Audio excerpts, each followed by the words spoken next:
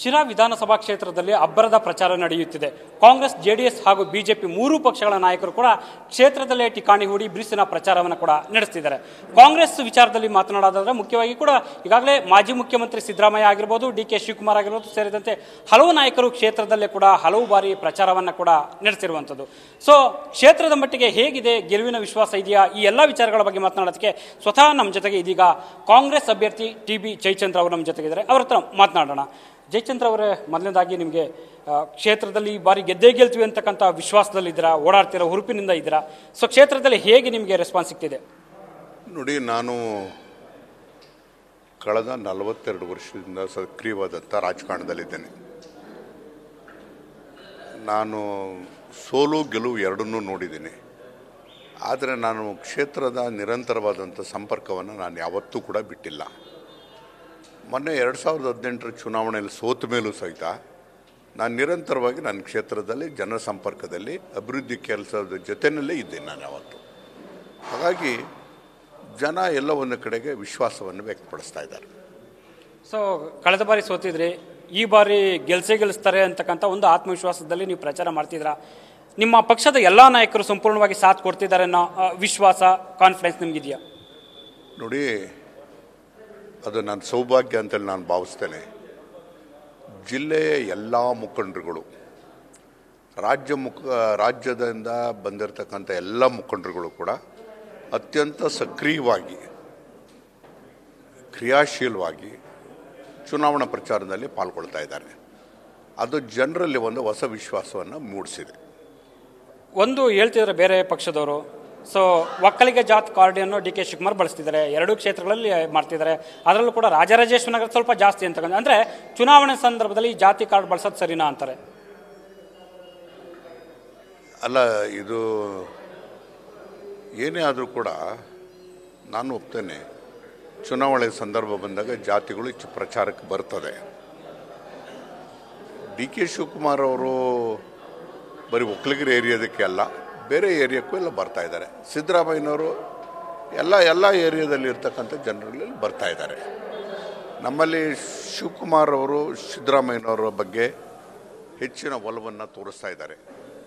ಜಾತ್ಯತೀತವಾಗಿ ತೋರಿಸ್ತಾ ಇದ್ದಾರೆ. ಜಯಚಂದ್ರ ಅವರೇ ನಿಮಗೆ ಪ್ರತಿಸ್ಪರ್ಧಿ ಅಂತ ಬಿ ಜೆ ಪಿನ ಅಥವಾ ಜೆ ಡಿ ಎಸ್ ಪ್ರತಿಸ್ಪರ್ಧಿ ಇವರೇ ಅಂತ ಹೇಳಕ್ಕೆ ಬರೋದಿಲ್ಲ. ಚುನಾವಣೆ ಪ ಅಬ್ಬರದ ಪ್ರಚಾರ ಇವತ್ತು ಪ್ರಾರಂಭ ಆಗಿದೆ ಎಲ್ಲ ಕಡೆಯೂ ಕೂಡ. ಆಯಾ ಪಕ್ಷದ ಮುಖಂಡರುಗಳೆಲ್ಲರೂ ಕೂಡ ಬಂದು ಮೊಕ್ಕ ಮೂಡಿತಾ ಇದ್ದ- ಇದ್ದಾರೆ.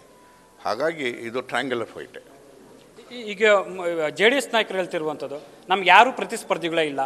ಸೊ ಕಾಂಗ್ರೆಸ್ ಆಗಿರ್ಬೋದು ಬಿ ಜೆ ಪಿ ಆಗಿರ್ಬೋದು. ಸೊ ನಾವು ಗೆದ್ದೇ ಗೆಲ್ತೀವಿ ಅಂತ ಅವ್ರ ಕಾನ್ಫಿಡೆನ್ಸಲ್ಲಿ ಹೇಳ್ತಿದ್ದಾರೆ. ಅದು ಅವ್ರು ಅವ್ರು ಹೇಳ್ಬೇಕಾಗುತ್ತೆ ಅಷ್ಟು ಹೇಳ್ತಾರೆ ಅಷ್ಟೇ ಅದರಲ್ಲಿ ಯಾವ ಸತ್ಯಾಂಶನೂ ಇಲ್ಲ ಅದು.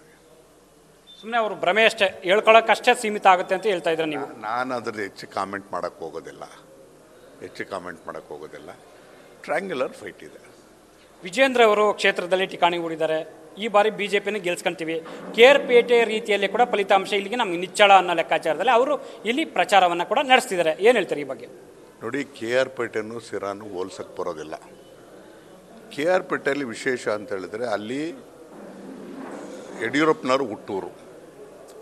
ಮುಖ್ಯಮಂತ್ರಿಯಾಗಿ ಹುಟ್ಟೂರು, ಬೆಳೆದ ಊರು, ಸ್ವಾಭಾವಿಕವಾಗಿ ಅವರು ಮುಖ್ಯಮಂತ್ರಿಗಳಾದಂಥ ಸಂದರ್ಭದಲ್ಲಿ ಸ್ವಲ್ಪ ಹೆಚ್ಚು ಕೆಲಸವನ್ನು ಮಾಡಿರ್ಬೋದು. ಹಾಗಾಗಿ ಅದೇ ವಿಚಾರ ಬೇರೆ, ಈ ವಿಚಾರ ಬೇರೆ.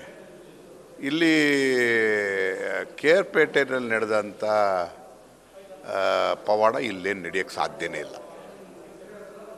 ಸಿರಾ ಯಾವತ್ತೂ ಸಿರಾನೇ.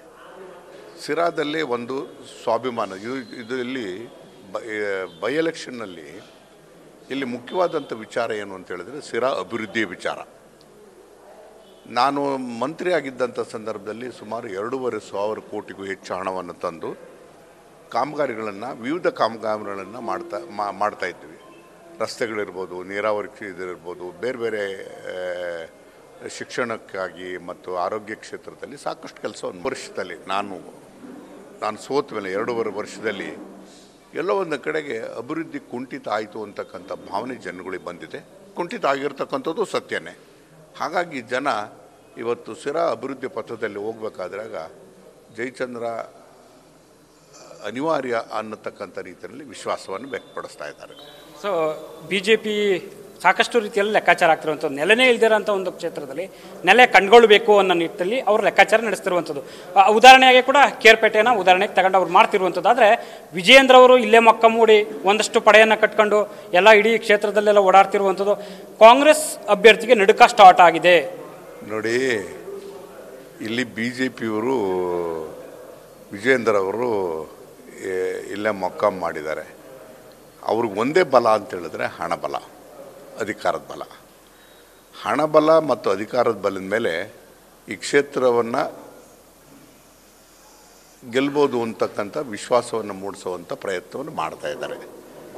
ಬಹುಶಃ ನನಗನ್ನಿಸ್ತದೆ ನಾನು ಭಾಳಷ್ಟು ಎಲ್ಲ ಚುನಾವಣೆಗಳು ನೋಡಿರ್ತಕ್ಕಂಥದ್ದು, ಹಣಕ್ಕೆ, ಅಧಿಕಾರಕ್ಕೆ ಜನ ಯಾವತ್ತೂ ಓಲೈಸೋದಿಲ್ಲ.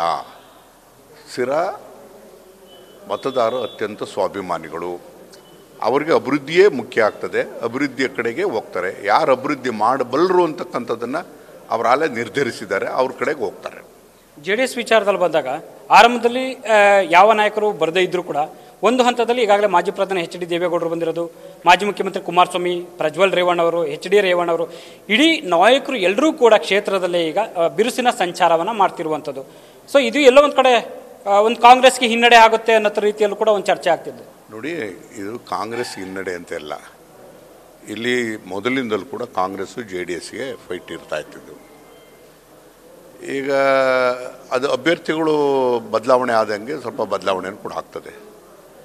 ಇವತ್ತು ಹೆಚ್ಚು ಹೆಚ್ಚು ಸಂಖ್ಯೆಯಲ್ಲಿ ಮುಖಂಡರುಗಳಲ್ಲದೆ ಇರ್ಬೋದು, ಎರಡನೇ ಹಂತ, ಮೂರನೇ ಹಂತದಲ್ಲಿರ್ತಕ್ಕಂಥ ಗ್ರಾಮ ಪಂಚಾಯಿತಿ, ಗ್ರಾಮಗಳಲ್ಲಿರ್ತಕ್ಕಂಥ ಮುಖಂಡರುಗಳು ಹೆಚ್ಚಿನ ಸಂಖ್ಯೆಯಲ್ಲಿ ಬಂದು ಸೇರ್ತಾ ಇದ್ದಾರೆ.